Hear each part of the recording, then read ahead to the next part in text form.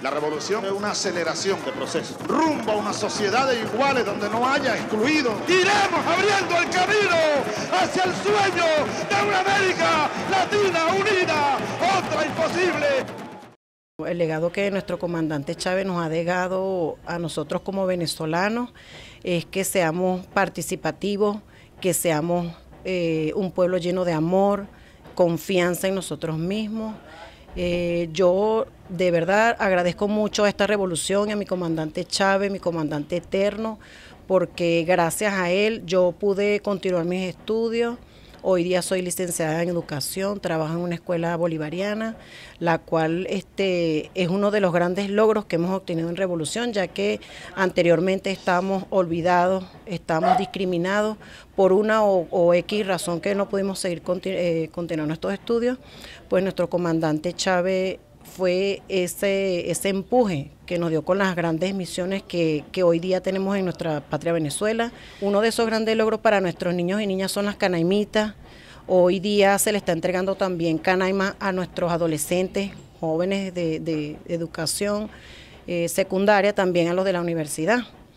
Otro de los logros también se ha dado eh, a los niños la colección bicentenaria, la cual es una herramienta muy importante para el estudio de nuestros niños y niñas. También así hemos obtenido logros en, en lo que tiene que ver con la salud, en las grandes emisiones barrio adentro, eh, toda esa tecnología que se está desarrollando en, en, nuestro pueblo venezolano, la cual la comunidad venezolana es la que está siendo beneficiada de todos estos avances que hemos obtenido en Revolución. También hemos obtenido este, los créditos socioproductivos, uno de, estos que permite a la comunidad realizar sus actividades desde sus hogares, realizar actividades de que, que sustenten sus propias necesidades y también de la misma comunidad. que continuemos haciendo patria, continuemos con este legado que nos dio nuestro comandante de unidad, lucha, batalla y victoria, porque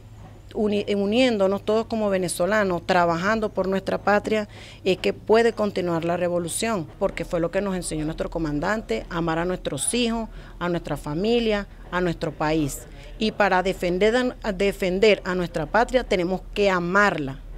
Y eso es lo que te puedo decir de nuestro presidente, que lo amo y que, que todo, todo, voy a dar todo por defender esta patria, esta patria socialista que tenemos hoy día y que no permitamos que de otras partes, de otro país, vengan a inmiscuirse en nuestros problemas de Venezuela, que nosotros mismos tenemos la capacidad de resolver nuestros problemas.